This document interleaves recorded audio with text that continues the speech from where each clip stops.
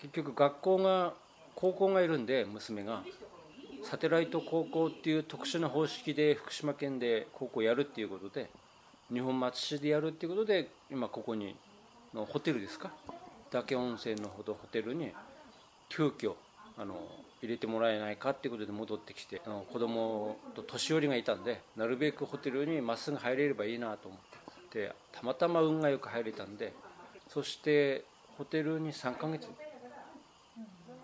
3ヶ月かないたのが大体。でこのホテルで仲良くなった人たちがまだばらけたんですよ結局ね。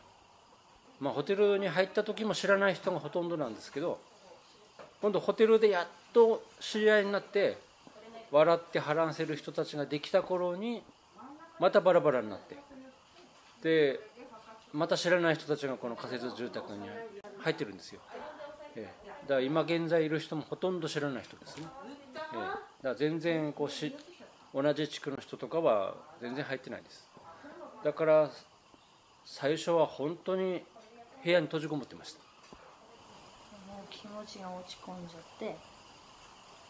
これからどうするのかなっていう不安があってやっぱり考えることが多くなって眠れなくなってそういうのが多かったね、うん、1年く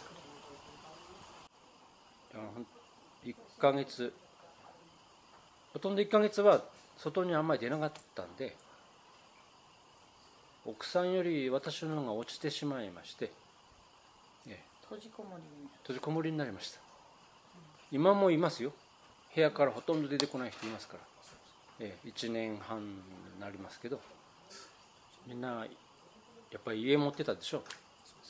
自分の。あの日まで。あの原発事故までは自分の家を持ってローンを抱えて必死になって払って子供を育てていた人たちが原発事故で家はなくなる土地はなくなるね。ただ残ったものは何かっていうとローンだけなんですよ。で先が保証してもらえるのか分かんなかったでしょ。あの避難当初ね。もうだからここに来てもこれからどうやったらいいか分かんない。津波被災地は今希望が出てきましたよね。もう原発避難はあの特に浪江町は線量が高いでしょ。原発はないんですけどと浪江町の町民は本当に夢も希望もないんですよ。だからもう落ちるとこまでいまだに落ちてますから。